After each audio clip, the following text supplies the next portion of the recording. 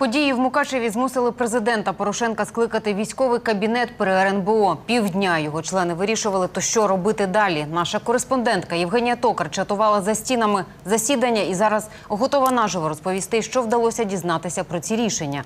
Вітаю, Євгенія. То що тобі відомо? Чого дійшли на РНБО? Вітаю, Тетяно. Засідання РНБО закінчилося приблизно годину тому. Перебіг подій у Мукачеві президент назвав спробою розхитати рівновагу у тилу за тисячі кілометрів від фронту. Бо ж суть збройного конфлікту, за його словами, це банальний розподіл контрабанди. картина, те, що зараз відбувається, вона не є чорно-білою, до речі. Мені здається, що вона є чорною. Бо обидві сторони, які мали конфлікт Мукачеву, є чорні. І сутність конфлікту насправді дуже проста.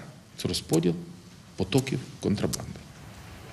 За словами президента, жодна політична сила не може мати збройних е, підрозділів. Тож Порошенко доручив правоохоронцям роззброїти усі незаконні збройні формування, а також провести жорстке розслідування у справі та покарати винних. Жорстке і принципове розслідування. Всіх, хто до цього причетний. Обшуки, затримання і пряма кримінальна відповідальність. Не допоможуть ні депутатські мандати, ні зв'язки у владі.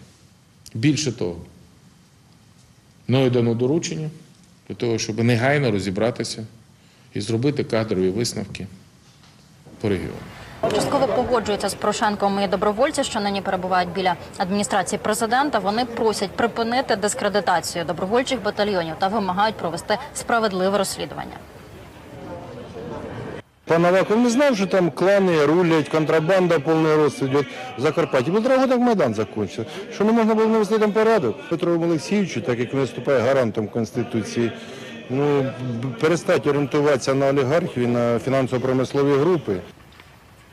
Мітинг тут біля е, стін президентської адміністрації триває ще від учора. Водночас тут досить спокійно людей небагато. Переважно це представники правого сектору та інші добровольці. Вдаватися до якихось е, радикальних дій наміру вони не мають, але розходитися поки що не планують. Бо ж одна з їхніх головних вимог це відставка Арсена Авакова. Тетяна.